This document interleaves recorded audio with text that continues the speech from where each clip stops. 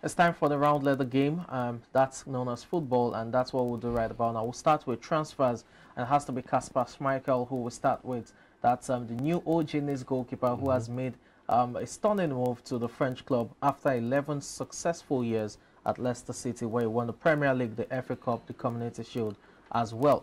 What What do you make of this move? I mean, after 11 years at Leicester, mm -hmm. is it the right move? He's 35, but he's still a top goalkeeper. Yes, he, he, he's still a top goalkeeper. I was actually shocked when I saw the movie because mm -hmm. I was mm-hmm. like, uh, there, why? no mm -hmm. there was no need for him to actually new move. New challenge. Mm -hmm. um, probably new challenge going to OG Nice. Is, exactly. It's not really a challenge that I like. I will see. It's not like they're competing for anything mm-hmm. that's very very big like that. So. I, I, I, I really don't know. Probably he had some stuff he's facing, or he's just very tired of Leicester, or probably he has some internal issues that he's, they, they're not telling us about. Yes. But it's, it's okay. It's a, it's a good move for probably retirement soon. After 479 matches at the King's Power Stadium, you now have um, Schmeichel, the son of Manchester United's legend, um, you know, legendary goalkeeper, um, making that move now. Um, let's see how it pans out. For OG Nice, they will be, you know, playing their trade in the Europa League, so um, he will still have European football at his disposal in that sense. Let's move away from there now and talk about another signing um, that has to do with Chelsea, and his name is Kani Chuku Emeka that's a name that is definitely familiar to. Nigerians. Carney Chukwuemeka for 20 million pounds from mm -hmm. Aston Villa.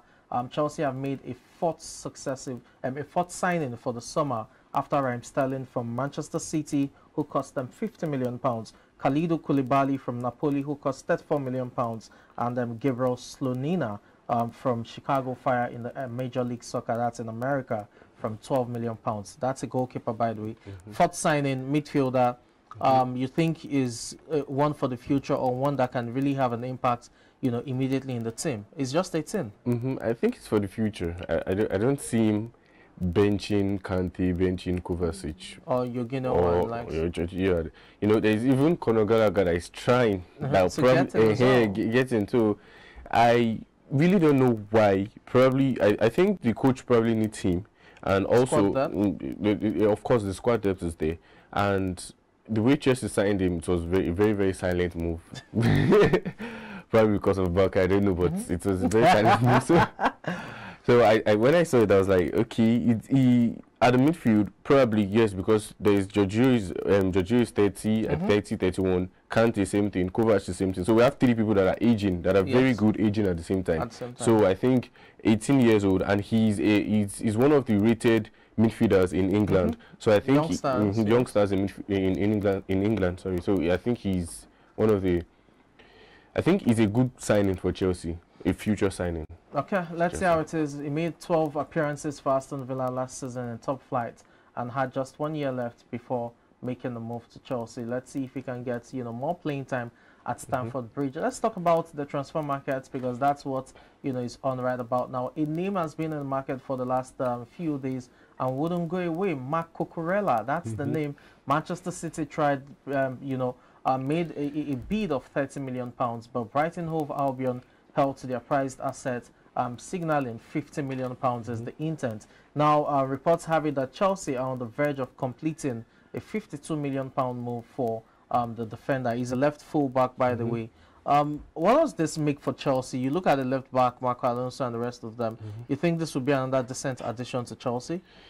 Yes, it's it's a decent addition. Looking at um, the Chelsea's team generally mm -hmm. has is still not set because there are some players that still want to go. Exactly. And the transfer window is is is not closed, and a lot of clubs are not yet bidding for them. Mm -hmm. So it, it brings the whole club in a very kind of stagnant place. So Cucurella is coming in I I hope probably what they told him is um, Alonso is going and Emerson is going. So mm -hmm. that's probably what is in his mind, and I think yes. they should go. But I'm not really seeing any club bidding for them. So I don't know how Chelsea is doing it. So although um, he can play the the left side of the of a three man defense, defense. So. I think that's where Chelsea is mainly going to use him into. Is that's the best position that Tuchel is probably probably thinking of taking to replace him into. Rudiger. To replace Rudiger, of okay. course, of going.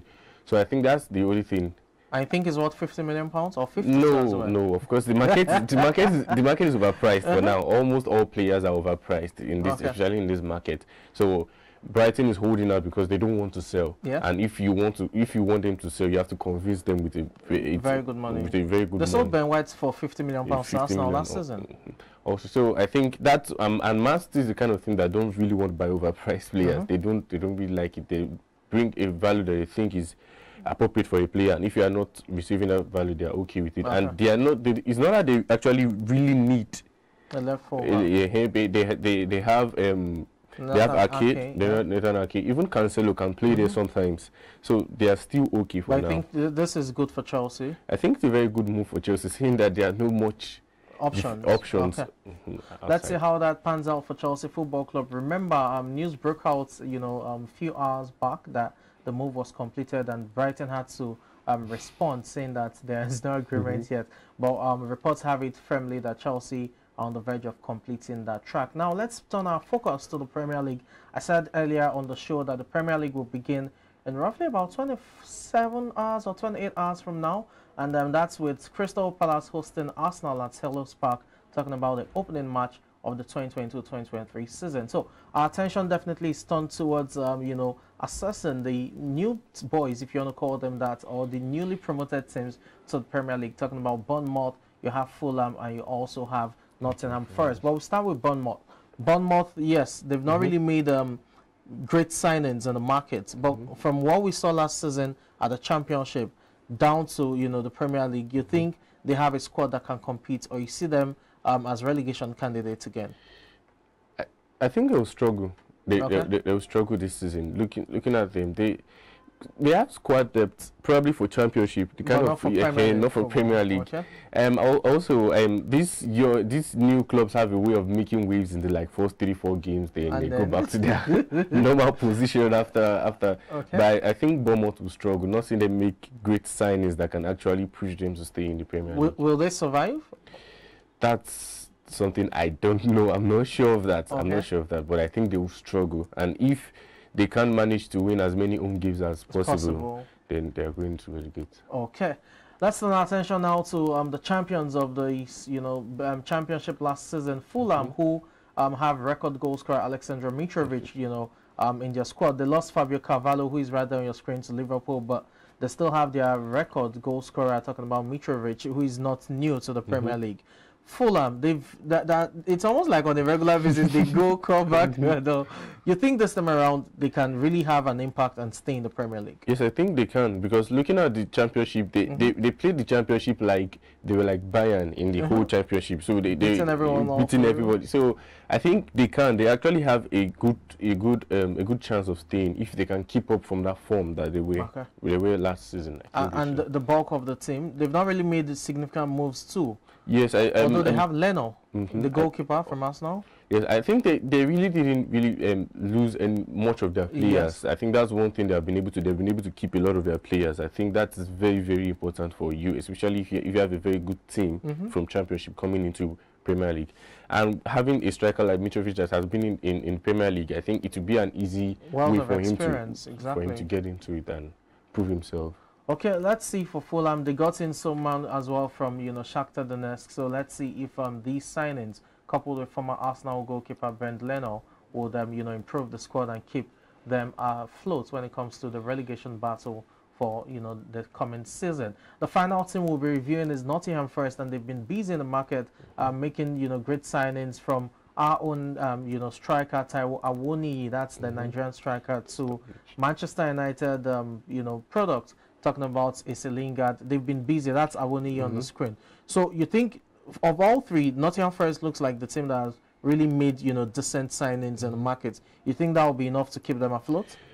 It, it's not enough. It's it's more for the signings to actually prove themselves and mm -hmm. be on top at every match. At every match they will they will get into because they're not the only ones making signings. Even yes. the Premier League Premier League teams almost all Premier League teams, if not all, are actually making signings to actually boost themselves. And you look at everybody and you're like, okay, who's actually going to relegate? Who's going yes. to?